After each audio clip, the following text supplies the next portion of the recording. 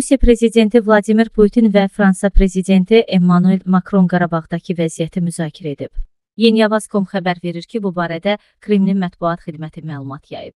Bildirilib ki, Putin 9 noyabr 2020-ci il və 11 yanvar 2021-ci il tarixli Qarabağla bağlı üç tərəfli müqavilələrin icrasında irəliləyiş barədə Fransa prezidentinə məlumat verib. Danışıq zamanı bölgədəki vəziyyət, sülh məramlarının fəaliyyəti, iqtisadi və nəqliyyat əlaqələrinin açılması və sair məsələlər müzakirə olunub.